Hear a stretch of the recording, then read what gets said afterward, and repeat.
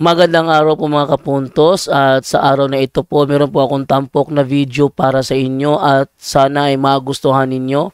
Kaya sa mga bago pa po sa aming channel, please po don't forget to hit the subscribe button at ang notification bell para maging notified kayo sa bawat video na ilalabas ko sa channel na ito. At bilang kahilingan po ng punto por punto team at naway uh, maintindihan po ninyo, sana po wag nyo pong i-skip yung mga ads sa aming mga video. Sa maliit na bagay na po na yan, eh, malaking tulong po yan sa ating programa at sa ating ministry. Sana po uh, maunawaan po ninyo. Maraming salamat po kaya wag na po natin patagalin. Simulan na po natin.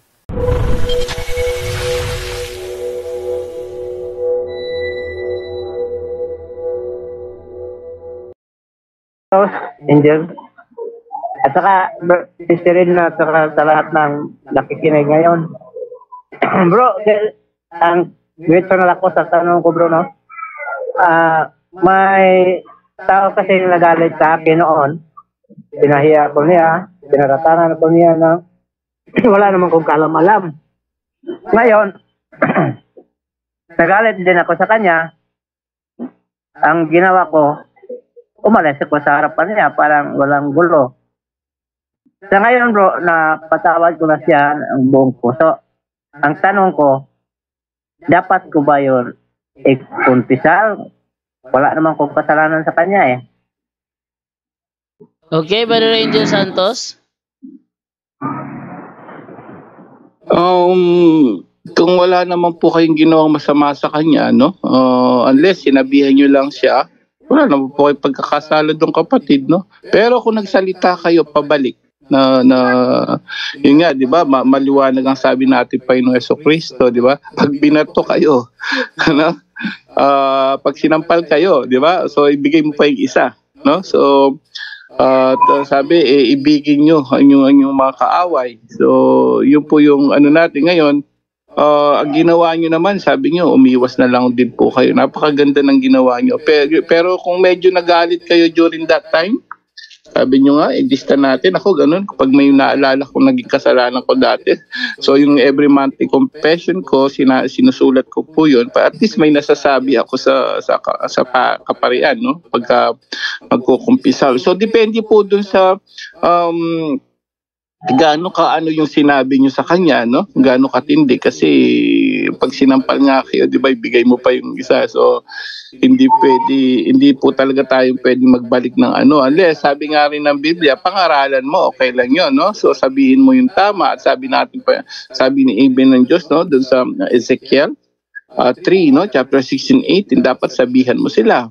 So yung mga yung sa Santiago chapter 4 verse 17 maliwanag po 'yun ang sabi doon kapag alam mo tama hindi mo ginagawa nagkakasala ka. So kung tinuwid mo lang siya dahil doon sa mali niyang paratang eh wala po tayong kasalanan doon kapatid. Pero lagi ko sinasabi to be safe no sa lahat po nakikinig ngayon kapag hindi ka sure. No, syempre hindi mo na tanong dito at kami rin no syempre Diyos lang ang nakakaalam wala naman turo sa katikisim, sa Biblia, exact word na ganon. Ang ginagawa ko po, sinasabihan namin yung mga tao, mas maganda kapatid, para safe tayo, ikumpisal mo na rin yung nagalit ka during that time because yung pag-uusig niya.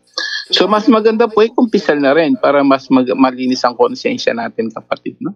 Yung po ang mas magandang gawin natin. Although alam naman alam mo naman na siya may kasalanan, no? pero mas maganda kung kung na-feel mo yung galit, nakapagsalita ka ng di maganda, why not? Total, every month nagko-confess ka, why not? Ibigay, isulat mo na rin, i-confess mo na rin na nagalit ka dun sa isang taong yon dahil sa ginawa niya sa'yo. Yung galit po kasi minsan ganun din yun, no? So nagbubunga yon ng hindi maganda. So pwede na rin pong i-confessal kapatid para maluminis ang konsensya natin kapatid. Yun po kapatid. Ang sinabi ko lang, ang sinabi ko lang sa kanya noon bro, sinabi ko sa kanya nga, hindi totoo yung sinasabi mo. Pero patuloy pa rin siya, kaya umiwas ako, hindi na ako nag-imik, umiwas ako. At saka, gano'n, ngayon, gano'n nga, pinatawad ko na siya ngayon, buong, buong puso ko siya pinatawad na. Kaso lang, hindi kami nagkausap dahil mga pinatawad ko siya dahil malayong malayo ang sa kanilang lugar. Kaya sa Panginoon ko na lang ialay yung pagpatawad ko sa kanya. Ayun. So, ah, pwede po tayo magbigay ng ano sa mga ganyan, sa mga sitwasyon na ganyan. Ah, marami nagtatanong tungkol diyan eh, paano yung mga nangaapi sa atin, na hindi ba mali yung ginagawa nila, inaaway tayo. Ah, Levitico chapter 19 nga bro, Jando, para may may meron tayong batayan. Ano yan? Levitico 19. 17 bro. Okay, 1917 ng... Malakas ba boses ko dyan? Yes bro. Okay, kasi dito hindi ko marinig yung boses ko eh. Okay, 1917. Ito po, Levitico. ito po sinasabi. Huwag kayong magtatanim ng galit sa iyong kapwa. Sa halip, magipagkasundo ka sa kanya, sa gayon hindi ka magkakasala dahil sa kanya. 18 bro, tuloy. 18, 18. Yes bro, tuloy lang sa 18. Huwag kang maghihiganti o magtatanim ng galit sa iyong mga kababayan. Ibigin mo ang iyong kapwa gaya ng pag-ibig mo sa iyong sarili. Eh, Yan po, napakalinaw, letra por letra. Dito sa uh, version ko sa MBB, sabi rito, huwag kang magtatanim ng galit sa iyong kapwa. No? Ang Diyos nagsabi po rito, sa halip, pangangaralan mo siya. No? So, kagaya ng ginawa mo, pinangaralan mo na. So, kasi baka sabihin ng mga tao, eh paano yun? Hindi na ako iimik, eh masama ginagawa niya. Hindi po. Nakalagay rito, pangaralan mo siya. Sa gayon, hindi ka magkakasala dahil sa kanya. No? Pero sabi rito, huwag kang maghihiganti o magtatanim ng galit. Pangaralan mo, so yung ginawa mo, hindi mo naman, ano, so wala ka pong, wala po tayo nakikitang kasalanan doon, kapatid. Ay, salamat bro. Salamat sa magandang sagot dahil alanganin ko nga eh. Kaya tinanong ko. Kasi dahil malapit na rin ma, ano si Father dahil unang Friday magpa-official man siya. Kaya naisipan ko parang ma-isama ko sa ano. Kumpisal, yes po. Ayan, no, yung kasing, um, yung mayroon din kasi rito no sa mga nakikinig ngayon, yung pagtatanim ng galit din. So pagsuway yun sa utos. So kung nagtanim ka pa rin ng galit, kahit sabihin mo na kahit sabihin mo na wala kang sinabing maganda, ang yung keyword dito is huwag magtatanim. Dalawang beses niya binanggit eh, sa 17 tapos sa 18. So sinabi rin ng, ng ating Panginoon ah, yung ng, ang- ni Yahweh during that time. Hanggang sa New Testament may sinabi si Apostol Pablo diyan. Pangaralan pero huwag magtanim ng galit kasi yung pong pagtatanim mo ng galit, siyempre sinasabihan ka ng ganun, yun po yung nakakaano, kailangan pawiin agad yun. So, pwede rin maging ano yun, kasalanan kapatid. So, tama po, no? Isama na rin sa kumpisal para po maging safe tayo kapatid. Bro. Salamat, salamat bro. Dahil pinatawad ko naman siya ng buong puso eh sa ngayon. Hindi ko naman, ano, wala naman kong galit sa kanya dahil pinatawad ko na siya sa buong puso ko, pinatawad ko siya ngayon. Eh, salamat bro.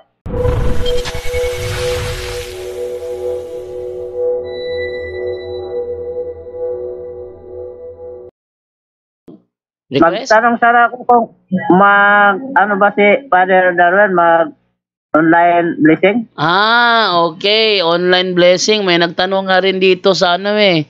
Sabi niya, si Roman B. Namata Jr., may blessing ba sa sacramental this week? Ah, sa pagkakaalam ko, sabi ni ano, sabi ni Jenny Ren, close kami ng two weeks. So baka walang walang sacramental blessing kasi close ng two weeks. No? No. Yun.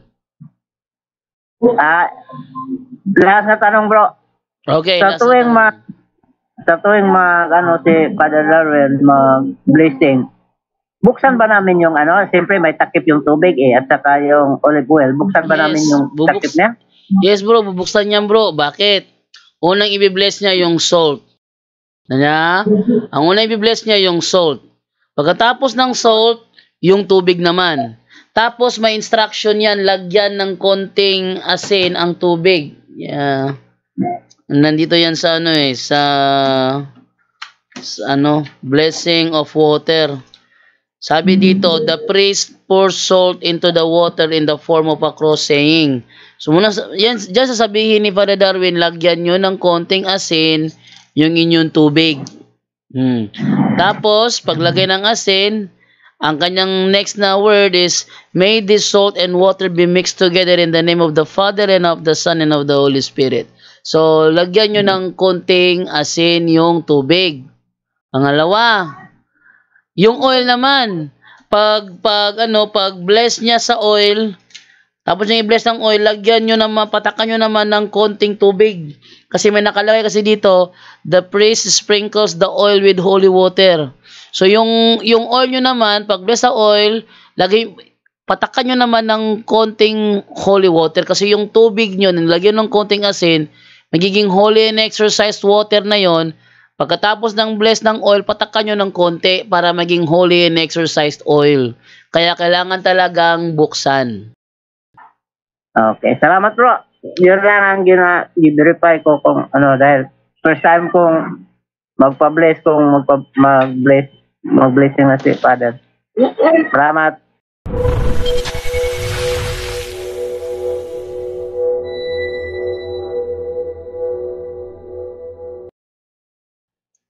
Okay, thank you sa iyo AJ Jinko. Ay, yan. And then move naman ako sa isa naman no nawala. Okay, so dito naman ako kay Angela. Hello Angela, good evening sa iyo. Angela. Hello po. Hello po. Hello Hello, po. good evening.